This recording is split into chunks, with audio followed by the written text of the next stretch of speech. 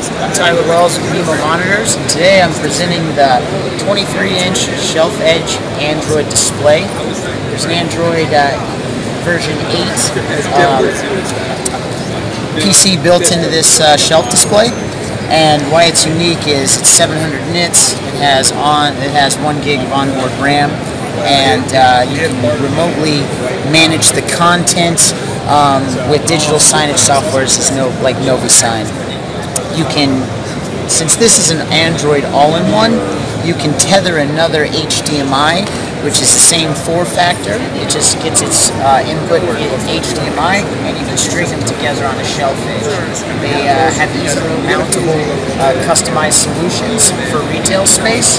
And if you'd like any more information, you can go to mimomonitors.com.